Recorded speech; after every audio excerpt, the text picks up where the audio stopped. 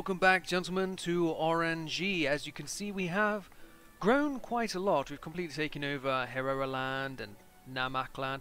Also, the Portuguese left Zambezi alone. We've started colonizing up north here a bit, but the Brits are just so much faster. They're really racing into Barotse or Zambia here, and they're destroying us. Anyway, what we have is a Zulu uprising. We are going to send in the line infantry and get to it. With all this new land, we have increased our GDP not terribly much, really. In fact, it just jumped down a load because uh, Zululand was a chunk of it. Population has exploded, though. Lots of people have been immigrating to these areas. They have uh, Melanesians have been coming over, Maori, more Melanesians, uh, Afro-Caribbeans. Lots of lots of people have been coming over, and we have done a lot of building. I'm just going to do a slow scroll through here so you can see there's lots of tooling workshop, workshops. We have shipyards now.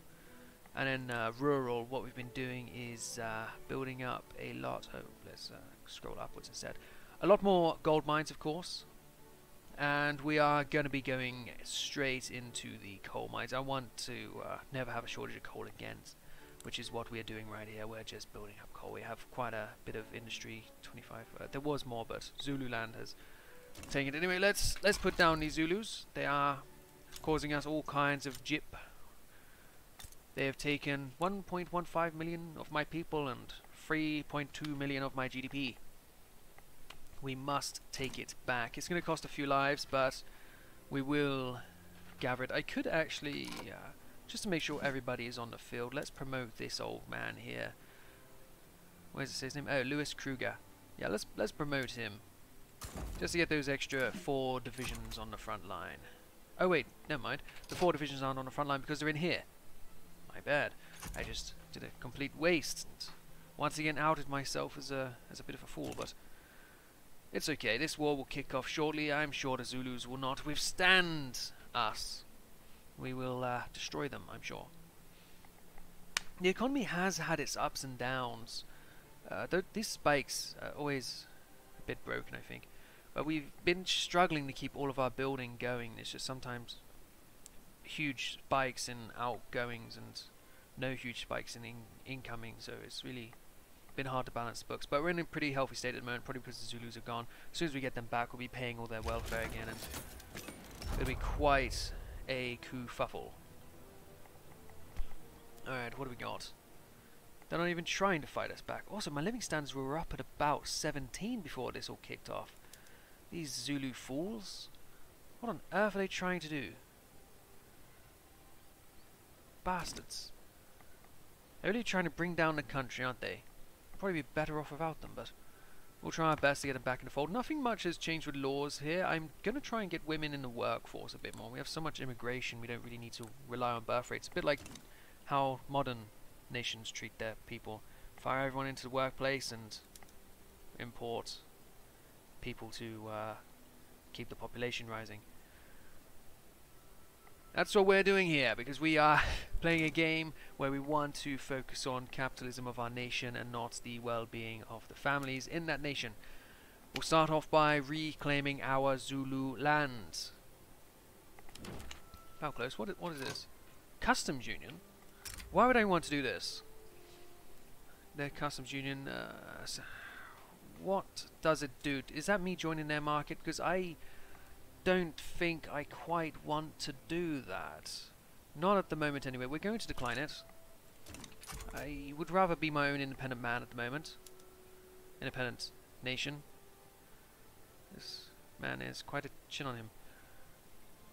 It's really taking its time though. I hope uh, I hope we get a fair bit of land with this conquest. Oh, good. Yes, yes, we do get a fair bit of the land with this conquest. Hopefully, it won't take uh, many more of those to see the entire load of Zululand under our control. Construction is ever increasing. I'm actually going to tear down the Zululand uh, building plot. I said build one in Transvaal where it's going to be a lot cheaper to run. The Zulu one was a bit more expensive. So we'll simply replace it with uh, one from here because I want to keep getting these uh, these coal mines built. Ah, good. They're going a bit faster now. Terrific. Well, they only had a few thousand troops. As soon as we killed a few thousand of them, they uh, Don't really have many left today. We, we've lost a lot more, but we have numbers to replace it. So a lot hurts them a lot more than it hurts us. That's uh, that's the important thing. What is this? Secession. Ah, yes, we're, we're fighting that right now. Ah, more. Uh, the Unyamwezi people are migrating over. Good for them. More people to work the coal mines, I'm sure. Excellent Zulus won't last long at all. They'll be put to shame. We could actually have a stronger military, but I'm keeping them at line infantry. Just to uh, save the expenses. Alone. Synthetic plants. Synthetics plants, ah. And art silk. Oh, good for them. I'm sure whoever works it will be very happy about it. We only lost two people to death in this, this battle so far. Must just be sniping them, because they are losing a lot of guys here, and we've only lost the two men still. Of course, a few have been wounded, but... Two dead! My goodness, who taught the Orangians to, uh, to shoot like that? Goodness. Uh, one more of those and we should have the land back under our control. I do wish that the British would stop their colony. They just, they're so fast. It's absurd. It really is absurd how fast they are. 50 days. I have to wait 300. Terrible. Uh, what's going on here? A Peace deal proposed. Is it what I want? Yes. Good. Excellent. The Zulus have been vanquished and my economy is tanking once again. Great. Let's put all you guys down to regulars and get rid of all your healthcare. You, don't need that now that you're back in the barracks now, do you? Let us... Um, actually, we want to have our ports up and working as well, but let's um, get rid of that. Because that was painful. But you see, my economy is, once again, I think it's the welfare payments. I think Zululand is just all on welfare. Because that's absurd. I still can't incorporate it. I am trying to incorporate these two places because they were relatively cheap. It still would take um, 20 years to do, but the cheapness was, was my concern there. Where does it say? Peasants, 15,000 unemployed, or get to fucking employment. You're going to migrate out of there, good.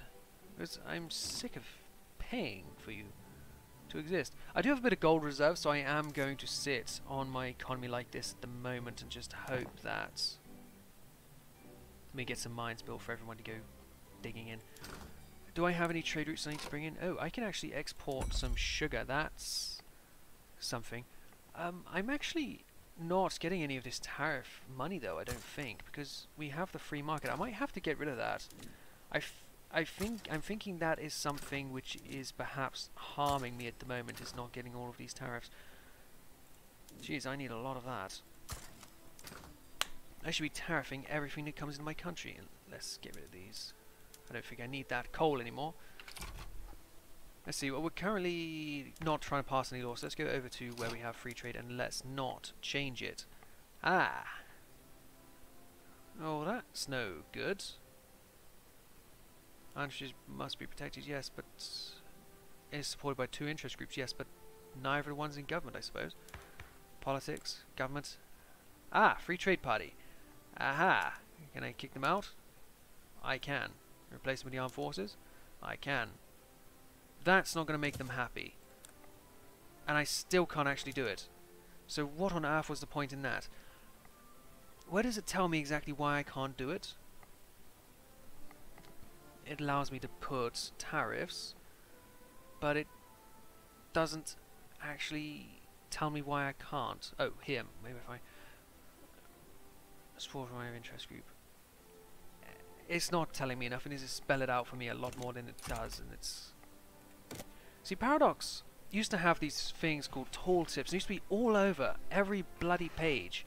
You'd be able to see everything in detail, but this Victoria Free seems to be incredibly lacking. I need something spelled out for me. I need to I need to be told exactly why I cannot do it, and it is not telling me. And I cannot be bothered to figure it out. Let's get you guys all going properly. We need to get um, all of that coal out of those hills and onto ships for export, I hope. Once we have enough. Once we have enough. We're still importing some, but soon that will no longer be an issue. And so we can... Uh, yes, it's actually... We're now producing more than we need. Terrific! And with every one of these mines, which we do have a lot of them pre-built, we'll get it even cheaper and then start being able to export it. The order, other side of the fence. Ah! Um... See, I would like you to like me a bit more. Good. Our main concern here is being able to get some tariffs. I'm not using any at the moment. Okay, well that's... Because my gold reserves are going to be going fast. Later I'm going to have to start tariffing something just to stop that from happening. But who knows. I know I could slow down my um, building sector, but that's just not something I want to do. I'd rather that was not required. My economy was fine until I brought Zululand back into the fold. And that's a shame because there's a lot going on down there. They, they've got enough infrastructure. Got enough taxation capacity even though they're not in um, incorporated so I won't get the tax anyway. I, I don't get it. Nothing here is... There's not a screen telling me what I need to hear. GDP, expenses, turmoil, I, I don't have any fucking clue. I'm sure somebody does.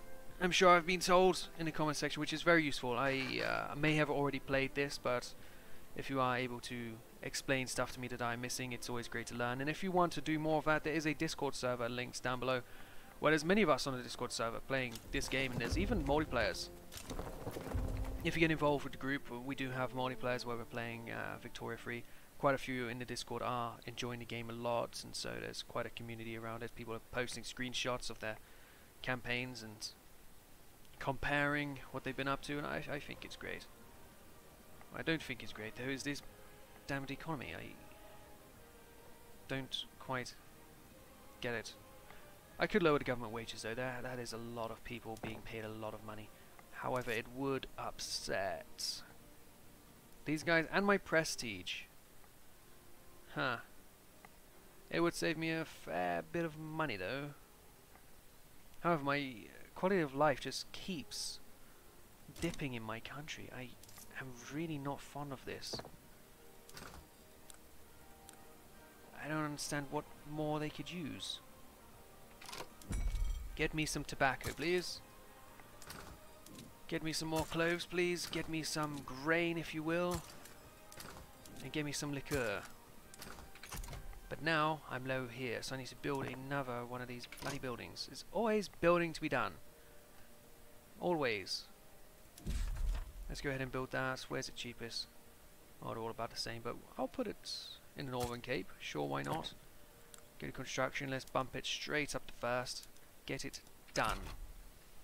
15 weeks and then we'll uh, have that. I, however, would probably, if I were to bring back the, uh, get rid of the free trade and start making money on tariffs, I probably would make less money seeing how much I'm saving with having these uh, cheap on trades. I'm not sure, because I'm paying a lot of staff to have these running. Uh, 185, actually it's only about four buildings. Maybe, maybe it'll work out profitable. The tooltip said I'd be making an extra couple of thousand bucks, which isn't really enough. Okay, now we're going into debts. Let's uh, let's try and stop that, shall we? Lower your wages and let's start taxing luxuries. Why don't we? I just this keeps happening over and over again. I'm not entirely sure what to do about it. You know, I, I lower my building a bit, but it's it's not ideal. I'd rather not be doing these things every so often.